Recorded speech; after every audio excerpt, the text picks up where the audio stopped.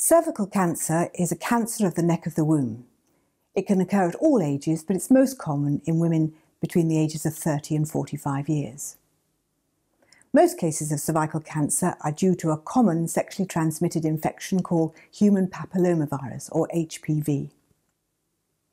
The virus affects the cells on the neck of the womb, causing them to change, and these changes can be picked up in screening programs such as your cervical smear.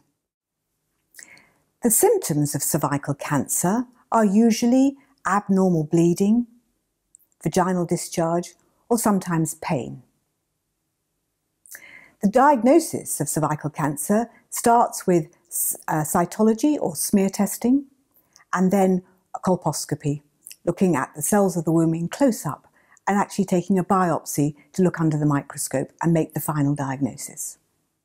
The treatment for cervical cancer depends on the stage of the cancer when the diagnosis is made. But thanks to our cervical screening programme, most cases are picked up in the precancerous stages and are easily treated with simple techniques to remove the abnormal cells, and no major surgery is required. If the cancer is a little more advanced, you may require a formal operation and even a hysterectomy in some advanced cases, accompanied by radiation treatment.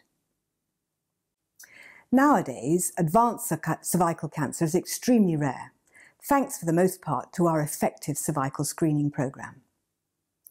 Girls during their teenage years are offered a HPV vaccine, which eventually will eradicate the problem, and all young and middle-aged women are strongly advised to go for regular cervical smear tests.